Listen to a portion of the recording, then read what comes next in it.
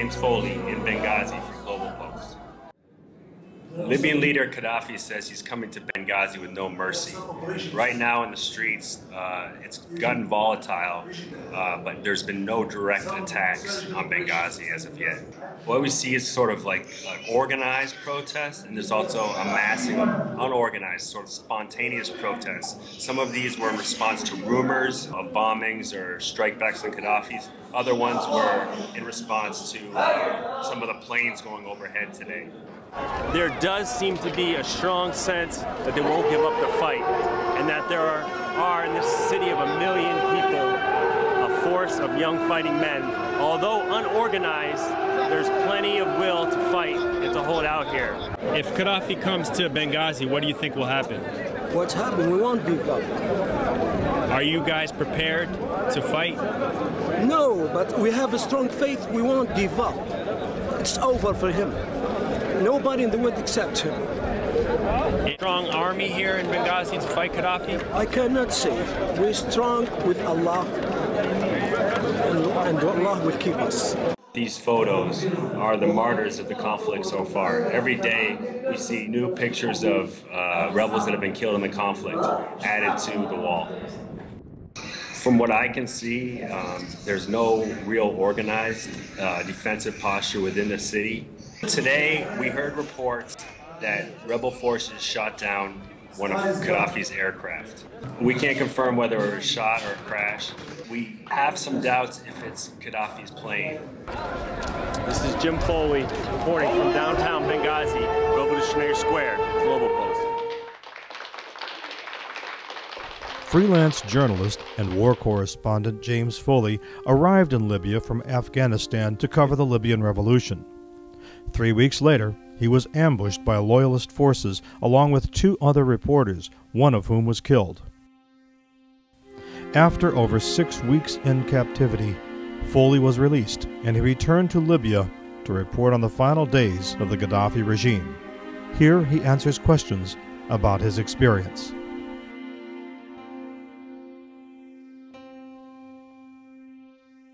Right, that incident, it wasn't a rebel movement. Um, First of all, I, you know, I feel like we're obliged to release everything to the public. You know, I feel that's our job. You know, the military can't do that. Um, organizations, some organizations can't do that, but I think that's our that's that is our job. And if we don't do that, we're going to be treated as more suspect than we already are, right? So this the CIA story is cool because uh, Human Rights Watch, an organization that's been on the ground in Libya. Um, you know, looking into issues of abuse and torture and Human Rights Watch and prisons, they uncovered this trove of information. And uh, uh, Officer Musa Kusa, who ran external security, so he basically ran the Libyan version of the CIA. And these documents were fascinating because they uncovered correspondence um, between, you know, CIA station chief and Musa Kusa, who was the head, the head man, the head uh, external security chief who had tremendous power, fled Libya before a couple months before Tripoli fell. So they had correspondence between CIA and Britain's intelligence equivalent, which is what, MI6? Yeah. So these two agencies were actually competing to earn Musa Kusa's favor, as we know in these, in these reports. It's well documented now. Um, was that during the attack, though, okay, what, when this was, this was during the uh, you know, after post 9/11, they were looking for certain individuals, certain Libyans who were seen as Islamists, who were seen as uh, armed Islamists, and who the U.S. Uh, thought had Al Qaeda connections, and of course the Libyan regime was interested in because they're uh, they've been known to plan assassination attempts against Gaddafi. Right. Right, right, right, right. right. This is a, right, right, right. If it was CIA on the ground, you know, tell me that story, right? Yeah. Right. Uh, we were looking for those CIA guys, but couldn't find them. I think they can disguise them pretty well. Uh,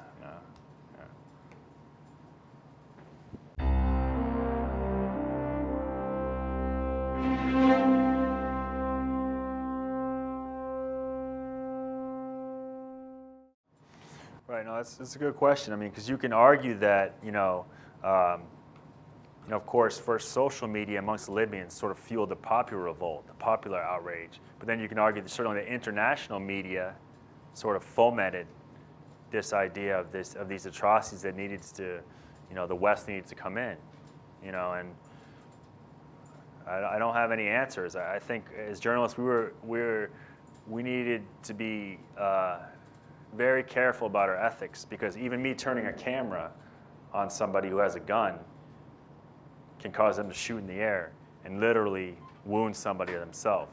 So the camera is a, it's an act, I guess it's an active participant. You know, you're an active participant. So, you know, um, you know, I'd say that, um, you know, all, all, I can say is what I saw and heard. I was there five days before NATO came in.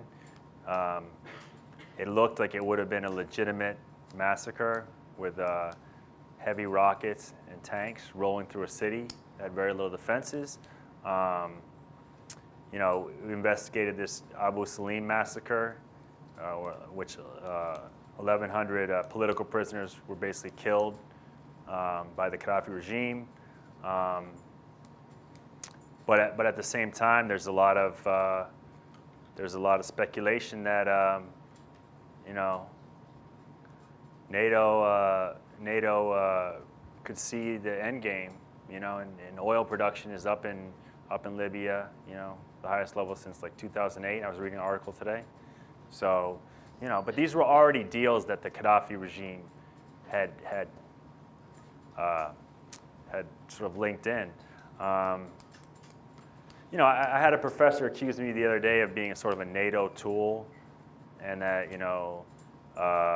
I was shocked. You know, this is a professor uh, in the University of Arizona, and he said, you know, any anybody that was on the ground, then we know that they were sharing information with NATO, which is it's absolutely not true. It's unethical. Uh, maybe there was people posing as journalists, which I, I, said is you know very dangerous to the profession and probably unethical. Um, but you know, hey, look, if we have those documents, you know, we as journalists, we want to find out if there is proof of these documents of NATO, um, you know, like actively working on the ground, actively let a plan for post Iraq production, I mean, post Libya production as in Iraq. You know, there's serious evidence of that. Please, let's find it. Please, let's out it. You know, I just don't, I, I don't think we can, uh, we can delve into this anti-imperialist rhetoric without really looking at the facts and really thinking about uh, what's happening.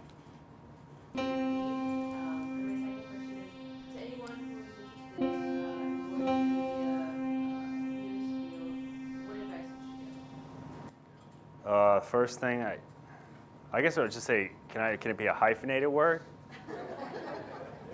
life changing, life changing. Is that is that a word? Life change hyphenated. Um, and I, and I think that. Uh, for going into media, I think that, you know, I was talking with some of uh, the professors here at San Diego State, and it's like, you know, international media is important, and, uh, you know, we can't, it's very hard to be the next Anderson Cooper these days, you know? It's like, you know, you're, it's kind of like, you know, there's one Anderson Cooper and about 10,000 unpaid freelancers, you know?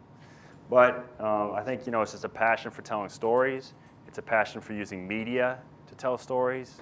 You know, um, there's so many tools we can use, but I think it's about a passion for a place, a passion for different kinds of people communicating, and I think that you know, to to do what uh, I do is is pretty foolish, and that you know the kind of sort of the real way to to understand a society is to live there, you know, learn the language, learn real sources, sort of like kind of go in up to your ankles, you know. So then you go into your like your, your, your knee level, you know, and you sort of, and that proves to be the better stories.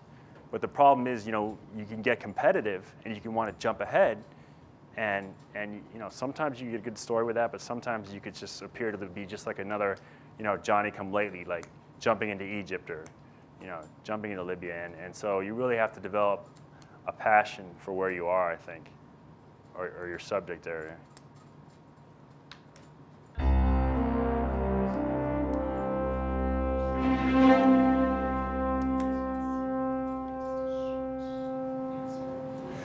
Yeah, no, that's a good call. It's, it's, it's, really hard to watch about Syria because um, you feel two things. And, and for me, one is I wish I was there in a strange way.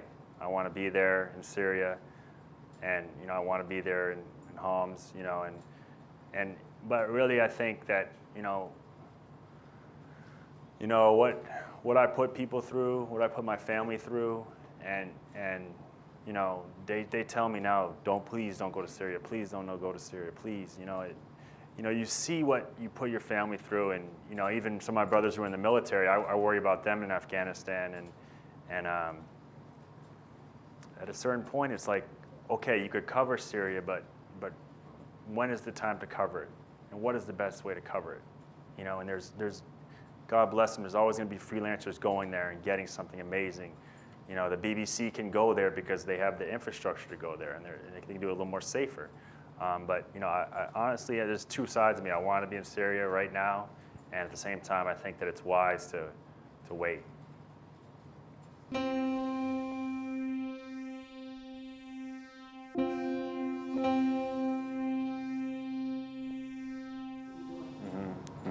Yeah. Um, you know, as journalists, you know, I think that we should be as, as stateless as possible, right? We have to try to be, you know, uh, try, try to look at it like, try to follow the story and try to follow, you know, where the corruption, where the influence, where the money, where the power is, right? And I know that sounds idealistic, and I know that, you know, was, some of the things in the build up to Iraq were um, really, really, uh, I mean, it was huge deception, right? And for somebody like the New York Times to be supporting this, you know, uh, call for, you know, WMDs is just, I don't think something that we can erase. And I, and I do think that, um, you know, yeah, there's plenty of there's plenty of journalists right now that will argue to you that the U.S. did the right thing in invading. I'm sorry, invading, and uh, bombing, you know, Gaddafi forces. And but then quickly, uh, this didn't become a defensive mission to protect civilian. Uh, so only civilians didn't it? It became taking out strategic uh, positions. So then it became an offensive uh, tool. And then also, uh, NATO started bombing um, Gaddafi compound. Well, they said it was a command and control place, but don't you think they wanted to take out Gaddafi as well?